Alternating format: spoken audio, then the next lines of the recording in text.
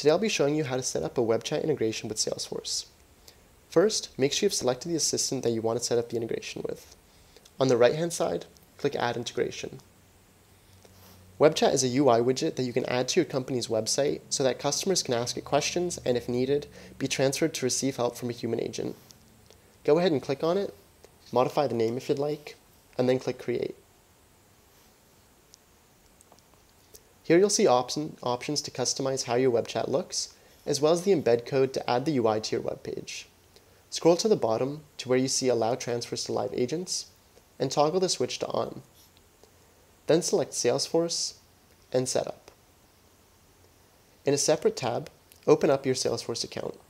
It'll be located on the URL pre-light.lightning.force.com. Find the cogwheel on the upper right hand corner and click Setup. You should see a search window on the left-hand side entitled Quick Find.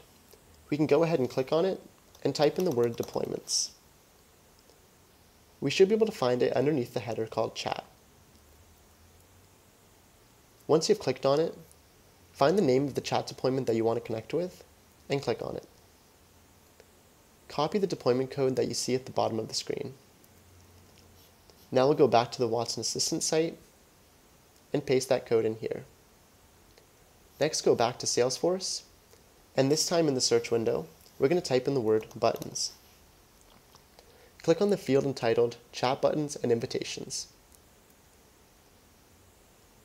Find the name of the button you want to connect with, click on it, and as before, copy the code that you see at the bottom of the screen. Now we'll go back to Assistant, and paste that code in right here. Now we can click on Next. That's all it takes to connect to Salesforce. If you want your human agent to be able to see a history of the conversation between the assistant and the customer before the customer is transferred, simply follow along with one more step. Here you'll see another code snippet. On the upper right hand side, click on this button to copy it. Now we'll go back to Salesforce and in the same search window, we'll now type in the words visual, force, pages. Find the label that you want to connect with, and follow along to the left and click on Edit. If there's any code in here, just delete it and paste in the code that you just copied over from Watson Assistant. Make sure you hit the, but the Save button when you're done.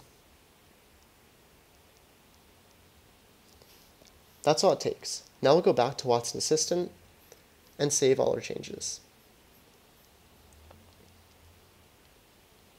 To test out the integration, we'll go back to Salesforce and click on this dotted square on the upper left-hand side. Type in the name of the app that you've just connected with.